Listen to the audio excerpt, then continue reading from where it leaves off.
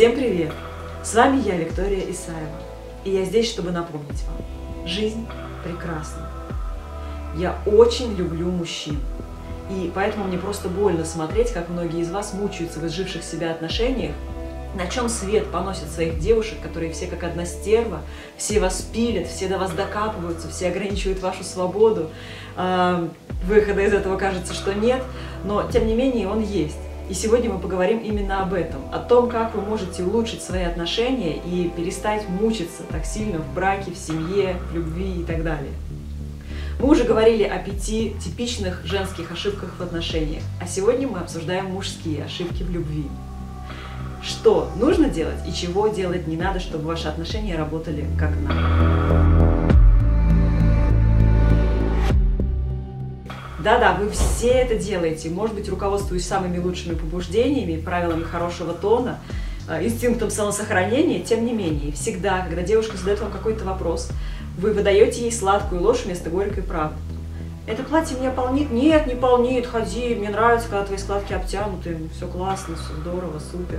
А она красивее меня? Нет, она такая уродина, вообще меня тошнит, я на нее когда смотрю просто, меня выворачивает. Вот ты на ее фоне, а Моника Белучи, уродина, кошмар, вообще не могу на нее смотреть.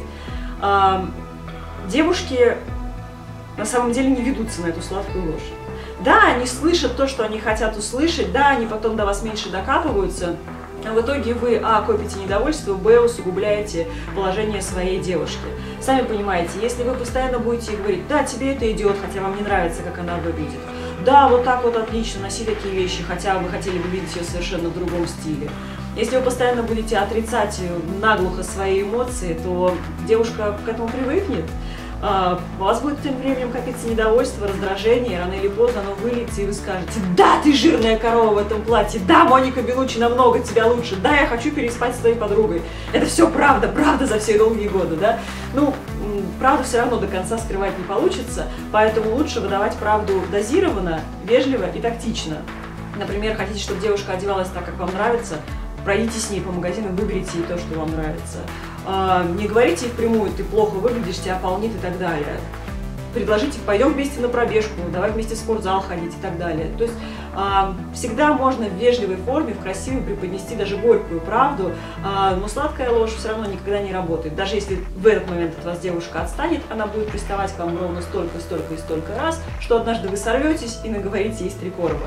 Поэтому лучше с первого дня отношений Говорите ей правду, она это выдержит. Верьте в нее, и все будет намного лучше.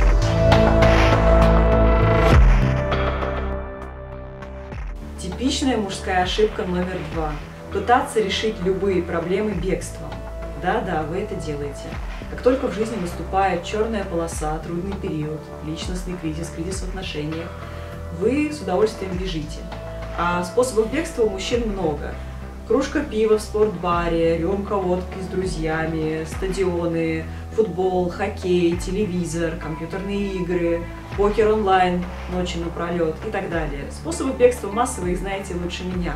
Но сами понимаете, что такие способы бегства никак не решают ваши проблемы, а только усугубляют их. И они очень вредны для ваших отношений. Почему?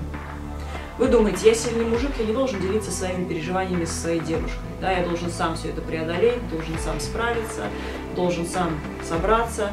Но по итогу вы только отдаляетесь от своей девушки, она начинает вас подозревать, она начинает вас упрекать. Ничем хорошим это не заканчивается. Так что как только у вас начинаются трудности, не стесняйтесь, делитесь со своими девушками, со своими женами. Поверьте, они не сочтут вас слабаками, для вас как раз наоборот, разговоры и решение всевозможных эмоциональных кризисов – это наша стихия, и это как раз то, в чем женщина может быть вам очень полезна. Она вас выслушает, оплачетесь у нее на ее большой груди пятого размера. Вам станет намного легче, уверяю. Более того, это сблизит вас и улучшит ваши отношения. Намного больше, чем еще одна ночь за покерным столом или еще одна пьянка в компании друзей. Так что будьте открыты со своей девушкой, и пусть кризисы и сложные моменты вас сближают, а не отдаляют.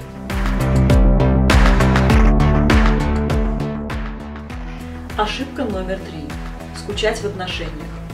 Большинство мужчин уверены, что им скучно в отношениях, потому что они годами находятся с одной и той же женщиной. Им не надо никого покорять, достигать, очаровывать, завоевывать и так далее.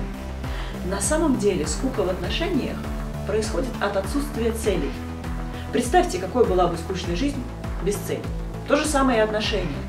Они становятся скучны, если вы не ставите себе никаких новых пунктов, никаких новых э, желаний, никаких новых достижений.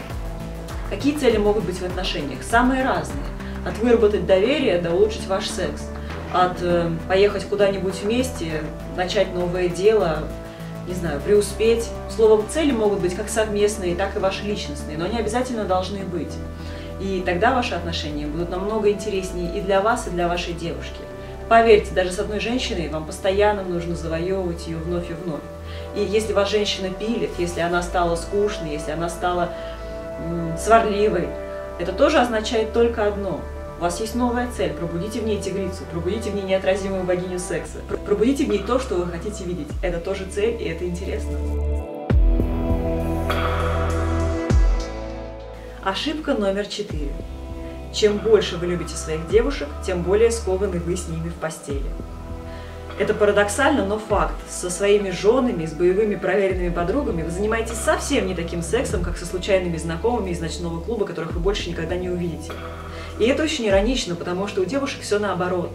В начале отношений мы немного скованы, зажаты, у нас есть комплексы, но чем дольше длятся отношения, чем больше мы узнаем, чем больше мы доверяем мужчине, чем сильнее мы его любим, тем больше мы можем ему позволить в постели. И на пятом, десятом, пятнадцатом году отношений мы можем пойти на такие эксперименты, на которые никогда не согласились бы там в первые месяцы знакомства. Только вот мужчины, к сожалению, совсем наоборот, мыслят и действуют. Они чем сильнее уважают женщину, тем более уважительным сексом с ней занимаются. А уважительный секс это, как правило, скучный секс в одной позе, в одно и то же время, под одеялом, в темноте для продолжения рода. Так что попробуйте мыслить так же, как мы, чтобы мы двигались в одном направлении. Чем больше вы узнаете девушку, чем лучше вы знаете ее тело, ее желания, ее психику, ее эмоции, тем проще вам будет ее удовлетворить, и тем больше вы можете с ней себе позволить. Экспериментируйте, будьте смелыми, и я думаю, что секс вам преподнесет немало приятных и интересных моментов, если вы просто поменяете эту закономерность. И, наконец, пятая ошибка. Винить девушку или осуждать ее за что-то. Помните, что ваша девушка – это ваше зеркало. Если вы хотите, чтобы поменялось отражение, вы должны поменять образ, то есть самого себя. Воздействовать на девушку напрямую невозможно, бесполезно и бессмысленно. Если вы хотите, чтобы девушка менялась, меняйте свое поведение. Помните, что поведение – это переменная величина, она всегда зависит от контекста. Если вы поменяете контекст, поведение девушки тоже изменится. Это очень сложный и очень простой закон, но попробовав один раз, вы убедитесь, что он полностью работает. Ну вот, собственно, и все. Большое спасибо, что посмотрели. С вами была я, Виктория Исаева. И помните, я вас люблю, вы ничего не можете с этим поделать.